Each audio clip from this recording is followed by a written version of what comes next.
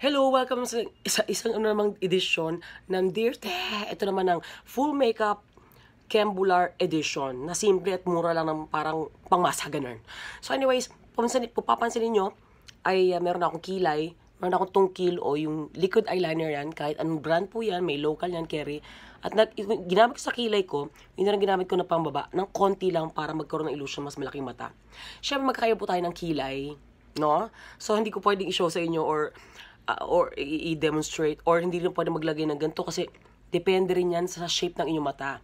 Pero ang ano ko lang, ang kilay dapat ay pag ganyan, para yung drawing na ganyan, may arco dito.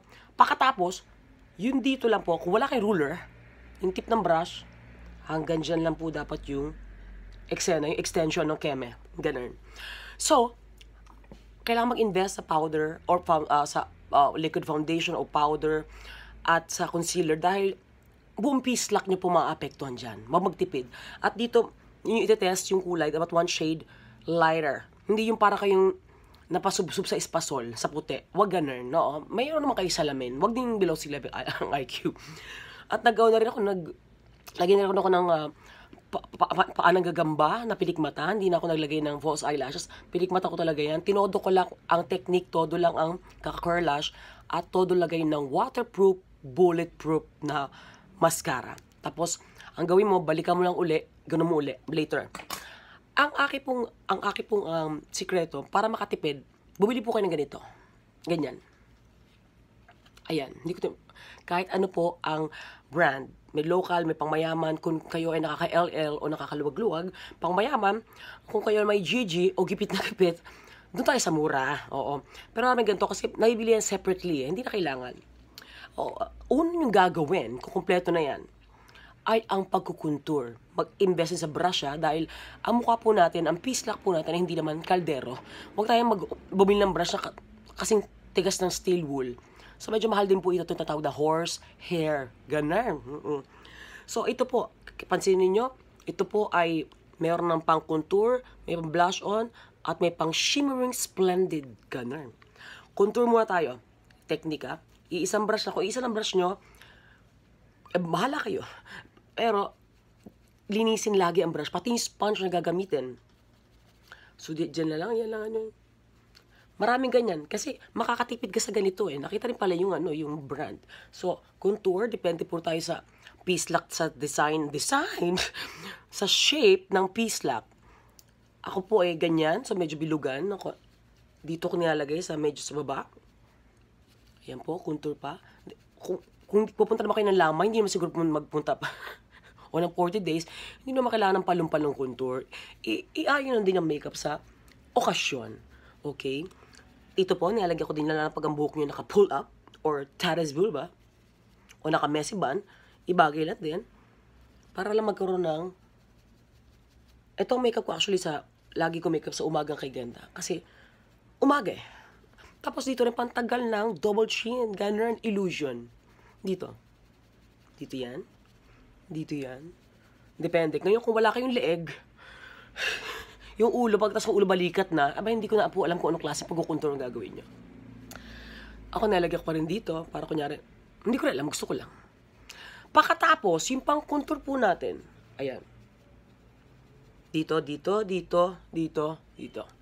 Yung pong contour yung maganda rito, kaya tatatluhan, yung maganda rito, kasi ito, andito na rin ang pang eyeshadow. Yan na rin. Ngayon, ang talukap ng mata ko ay malalim. Magkakaya po tayo. Pag chinita ka, wala kang talukap. Pasensya na. ang technique po ay doon lang susunod naman po kayo sa talukap.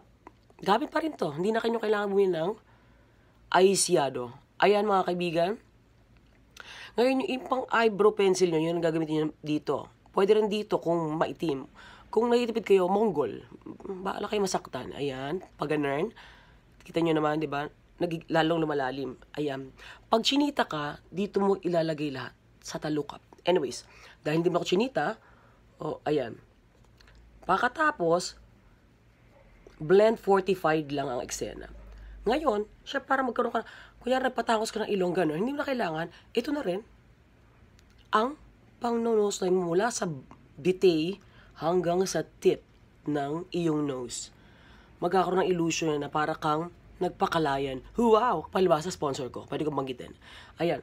At nga pala, habang nag habang nag-makeup ako, naglagay na ako ng lip balm.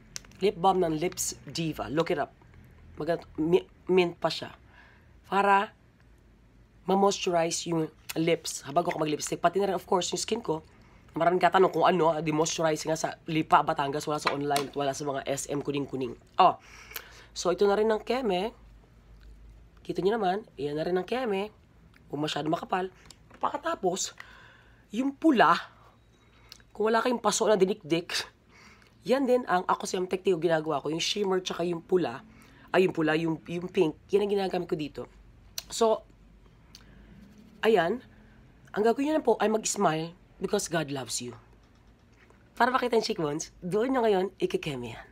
Hinahalo ko po. Yan pwedeng panggabi. Parang di ba, pang, pang, pang, pang TV at saka panggabi. Pero sa umaga, wag naman kayo mag-shimmer yung splendid dahil hindi naman kayo mag-show unless sa akin kayo ng tablado o magi-guesting. Yeah, kita nyo? Ito yung pangmayamang version ng magic lipstick. Kita nyo naman, lahat andito na. So, makakamura kayo kasi separate yung bibilin. Ayan.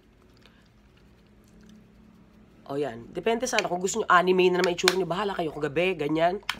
Dahil, nag, ayan ako. Ang technique ulit, di ba? Naglagay ako ng marami sa namakmak na bulletproof na ano, para hindi na mag-false eye. Pag natuyo, i-curlash nyo ulit.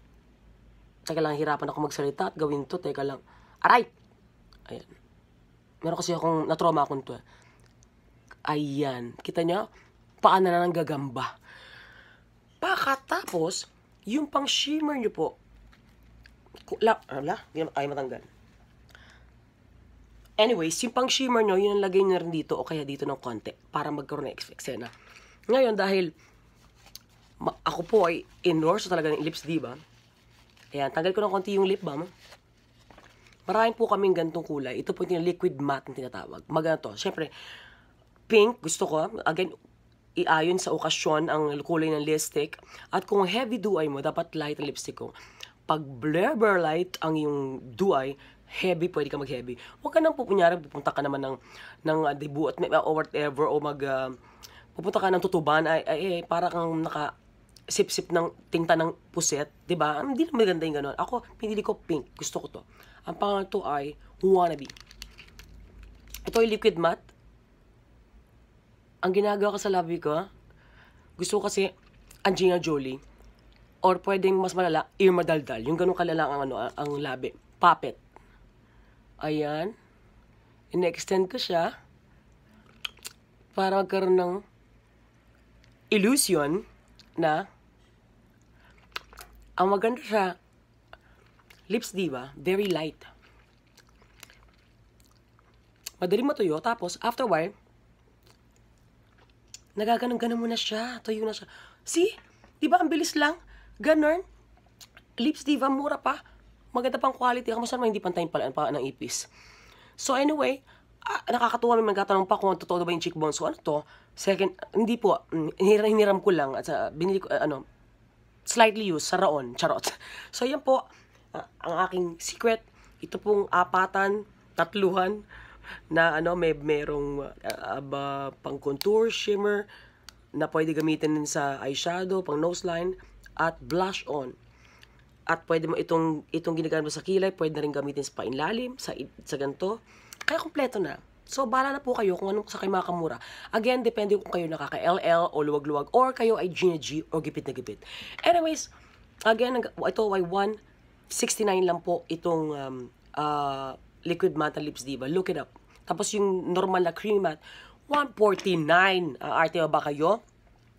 At of course, tuwing mo mag-apply ng ano, huwag yung smile because God loves you. Anyway, hanggang sa muli, ako po yung te, hengwe, hengwe, hengwe.